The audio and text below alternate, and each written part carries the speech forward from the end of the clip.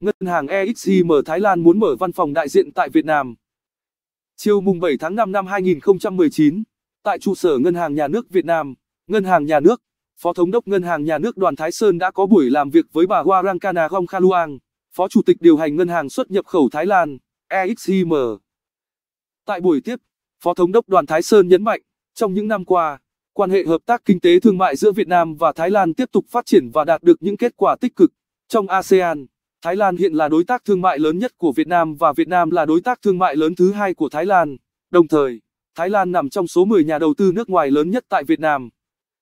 Đánh giá về hiện diện của tổ chức tín dụng Thái Lan tại Việt Nam, theo Phó Thống đốc, đến nay Thái Lan có 7 tổ chức tín dụng hoạt động tại Việt Nam dưới hình thức chi nhánh ngân hàng nước ngoài và văn phòng đại diện. Sự hiện diện của các ngân hàng Thái Lan tại Việt Nam đã đóng góp vào sự phát triển của hệ thống ngân hàng cũng như thúc đẩy quan hệ kinh tế, thương mại và đầu tư giữa hai nước Việt Nam và Thái Lan.